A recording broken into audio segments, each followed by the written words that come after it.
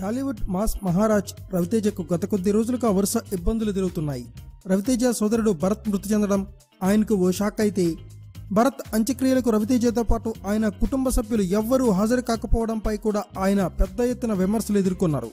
ఇక వెంటనే రవితేజ పేరు డ్రగ్ మాఫియాలో బయటకు రావడంతో రవితేజ మరింత మైనస్లో పడ్డారు. భరత్ మరణం రవితేజపై డ్రగ్స్ ఆరోపణలపై స్పందించేందుకు రవితేజ తల్లి రాజ్యలక్ష్మి స్పందించారు. తన ఇద్దరు కుమారుల ఉద్దంతాలపై స్పందించేందుకు ఆమె సోమవారం మీడియా ముందుకు వచ్చారు. రవితేజకు ఎలాంటి దురలవాట్లు లేవని చెప్పారు. తన కొడుకు సిగరెట్ తాగడని తాగే వాళ్ళను ప్రోత్సహించడని ఆమె అన్నారు. ఈ కేసులో తన కుమారుడిని కావాలని ఇరికిస్తున్నారని ఆమె ఆరోపించారు. ఇక తన మరో కుమారుడు భరత్ మృతిపై ఆమె మాట్లాడుతూ భరత్ మద్యం మత్తులోనే రోడ్డు ప్రమాదంలో చనిపోయాడనేది అవాస్తవమని రాజ్యలక్ష్మి స్పష్టం చేశారు.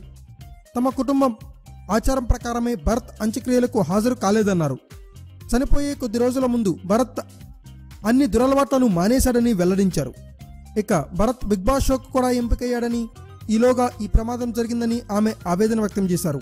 భరత్ను దారిలోకి తెచ్చేందుకు తాను ఎంతో ప్రయత్నించానని రవితేజ భరత్ను ముడిపెట్టి చూడొద్దని విజ్ఞప్తి చేశారు. కుటుంబ ఆచారం ప్రకారమే భరత్ అంత్యక్రియలకు హాజరు కాలేదని చెప్పారు. తన తమ్ముడు చనిపోయిన తర్వాత నిర్మాతలకు నష్టం రాకూడదని రవితేజ షూటింగ్కు వెళ్ళాడని చెప్పుకొచ్చారు. ఏదేమైనా భరత్ చనిపోయాక స్పందించని రవితేజ తల్లి.